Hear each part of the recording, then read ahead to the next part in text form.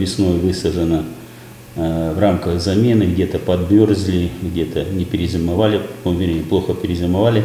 Самшита 250 штук, потом в Ореховой роще будет высажено 3000 роз, и будет высажено полторы тысячи многолетников, это весной. Вот мы сегодня приступили к посадке виолы, будет высажено 32 200. Это будет высажено на набережной, вот сейчас приступили к посадке.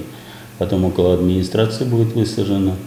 И по улице, соответственно, Крымской, к лету, к подготовке к курортному сезону. Это, соответственно, замена цветочная будет где-то в мае, в конце апреля, в, конце, в начале мая. Начало будет производства работы, и где-то мы закончим, ну, до первого это однозначно, но я думаю, учитывая, если погодные условия, вот как сейчас, будет развиваться так же, значит, это будет закончено гораздо раньше.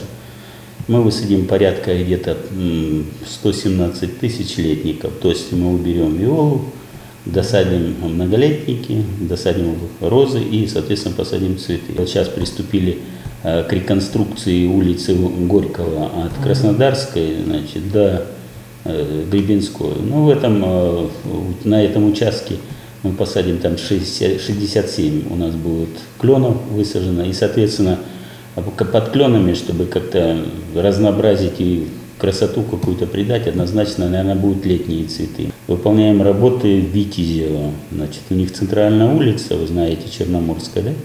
Она практически отсутствует зеленое насаждение вообще. Вот на сегодняшний день там надо высадить 370 деревьев. Благодаря тому, что администрация активизировала работы по устройству поливочных систем.